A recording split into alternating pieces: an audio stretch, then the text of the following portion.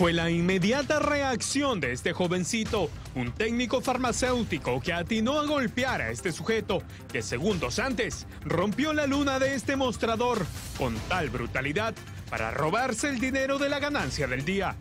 En la mañana yo estaba aquí, este, como toda la mañana atendiendo, ¿no? Y el, delincuente entra este, de frente a romper el vidrio y a treparse por el mostrador para poder sacar el dinero, el efectivo que tenía ahí.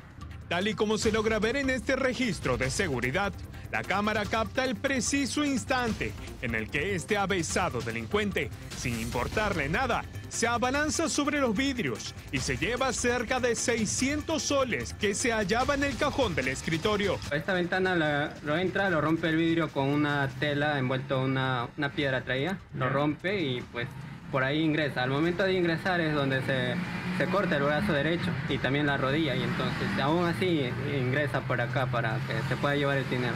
Se trata de una zona altamente comercial, donde pocos pensarían que puede suceder robos a plena luz del día y a primera hora de la mañana.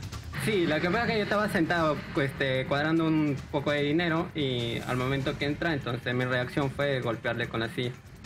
Hace como media hora vino antes, este, pero, o sea, vino a preguntar por un medicamento, luego se fue y, bueno, pensé que era como cualquier cliente y no, no me percaté. Estas imágenes de seguridad serán pieza clave para la comisaría del sector, pues hasta el momento no se ha logrado identificar al delincuente.